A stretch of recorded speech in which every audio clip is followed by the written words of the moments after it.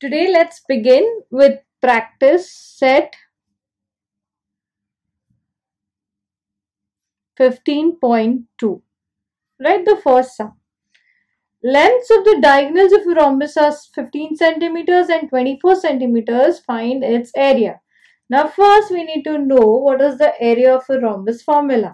So area of a rhombus is area of rhombus is half into product of length lengths of diagonals. So we are not going to write the whole thing. Like uh, what we'll do is we'll write half into d1 into d2. d1 stands for diagonal 1 and d2 stands for diagonal 2. So now here we have half into what is the diagonal 1 over here 15 and diagonal 2 24. So half into 15 into 24. So 2 ones are 2 ones are 2 twos are. So that is 2 twelves are 24. So what remains 15 into 12. Let's multiply 15 into 12 is 5 twos are 10, 2 ones are 2 and 5 twos are 10, 2 ones are 2 and 1 3 into 15. So you get 0, 8, 1. So it is 180 square centimeter. Since its area, it's 180 square centimeter. And what's the final answer? Answer, the area of the rhombus is 180 square centimeter. The area of the rhombus is 180 square centimeter. Let's do sum number 2 now. Okay, sum number 2. Length of the diagonals of a rhombus are 16.5 and 14.2. That means D1 is 16.5 centimeters and D2 is 14.2 centimeters. Find area. Area is how much? Now area is area of rhombus is half into d1 into d2 that is half into 16.5 into 14.2 2 ones are 2 sevens are point 2 ones are. So it is 16.5 into 7.1 so 16.5 into 7.1 1 5 is a 5, 1 6 is a 6, 1 1 is a 1 into 7 5 is a 35, 7 6 is a 42, 43, 44 and 45. 7 1 is a 7 plus 4 is 11. 5, 11, 5, 6, 7, 1, 1. Point after two numbers. So you get 117.15 square centimeter. So final answer you write. What is the area of a rhombus? Area of a rhombus is 117.15 square centimeter. If perimeter of a rhombus is 100 centimeters, now perimeter has come in. If perimeter of a rhombus is 100 centimeters and length of one diagonal is 48, what is the area of the quadrilateral? That means you have to find the area but now perimeter has come into picture. So let's draw a rough figure here first. Okay. Perimeter is 100. We all know that all the sides of a rhombus are equal. So if perimeter is 100 centimeters, each side will be how much? 100 by 4 since all are equal. So 4 ones are 425s are. So, so each side is going to be how much? 25, 25, 25 and 25 okay so it's going to have two diagonals. Diagonals are going to be perpendicular bisectors. All right. So now one diagonal they say is 48 so one is 48 one diagonal is 48 centimeters. Okay now if this is 48 so half of it is going to be 24 right? 24 and 24 all right. So now this is 90 degree. So let's label this. Okay we call it a b c d. And this will be a o. All right. So if length PD is equal to 48 centimeters therefore length OB is equal to half of 48 that means divide 48 by 2 you get 24 centimeters now this is 24 this is 25 this is 90 degree use pythagoras theorem and find the other side. So if you get this other side double it you get the second diagonal also. And then when once you get the second diagonal you can find the area. Now only one diagonal we have. We don't have two diagonals. We need two to find an area. So what we'll do is we'll use pythagoras theorem and find this side. So according to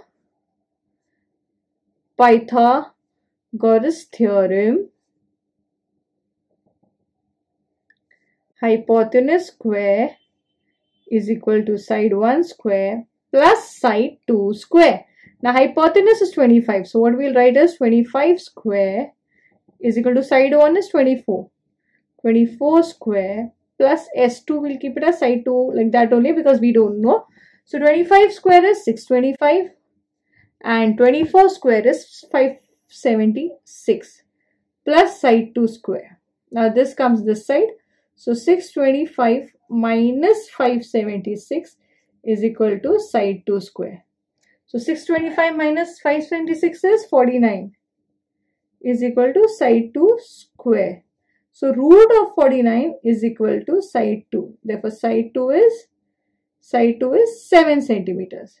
Now if this is 7 the whole thing is going to be 14 7 into 2 therefore I'll do it here Okay.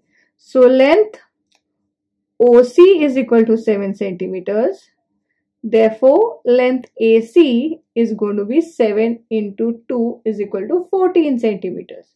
Now, one diagonal is 14, the other diagonal is 48. Therefore, area is, area will be half into D1 into D2. Half into D1 into D2 means half into 48 into 14. 2 ones are 2, 24s are. Now 24 into 14 is 336. 24 into 14 is 336 square centimeters. So your final answer is 336 square centimeters. Again I'll repeat. See what we have done is one one side is 25 the whole diagonal was given. So we made it half. So it became 24.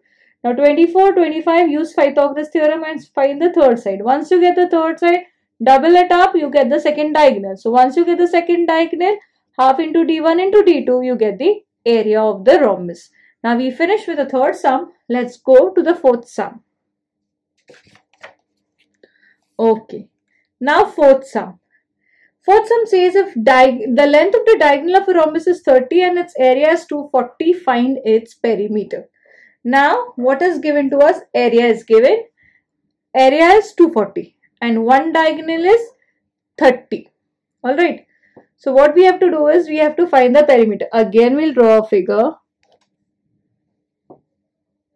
One diagonal, the other diagonal. Okay, L, M, N, O. So now what we want is now suppose this is 30. This this whole thing is 30. So this is going to be 15 and 15. So one is 30. Area is 240. Okay, so let's let's do one thing. Let's find the diagonal 2 first. Diagonal 1 we have. So area of uh, area of a rhombus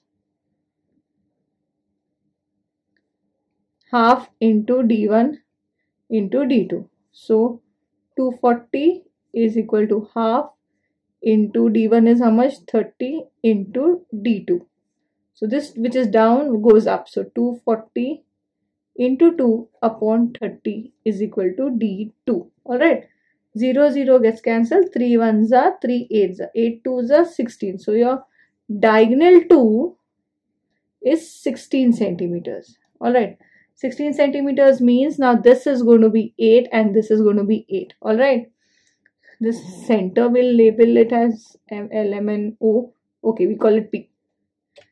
Now see this whole thing is MN is MO is is 30 therefore MP is going to be half of 30 it's going to be 15 centimeters. Okay this is MP now ln ln is 16 centimeters. Therefore pn pn is half of 16 that is 8 centimeters. So 15 8 90 degrees. So again pythagoras theorem. Now we have to find out the hypotenuse. Once we get the hypotenuse, we get one side of the rhombus multiplied with 4 and get the perimeter. So, according to Pythagoras theorem, hypotenuse square is equal to side 1 square plus side 2 square. Hypotenuse we don't know, 15 and 8 we know. So 15 square plus 8 square, 225 plus 64. Now 225 plus 64 is 289. 289. Okay. Hypotenuse square is, so hypotenuse is how much? Root of 289 and that is 17 centimeters. Now Mn is 17 centimeters. One side is 17. Therefore perimeter is 1 is 17. So perimeter is going to be 4 into side. That is 4 into 17. And 4 17s are 68. So 68 is going to be the perimeter of the rhombus. Again I'll tell you first what did we do? We found out D2. After finding out D2, half half half half we did and then we using Pythagoras theorem we found the hypotenuse after finding the hypotenuse uh, we multiplied with 4 and we got the perimeter. And that's it. That's the end of exercise 15.2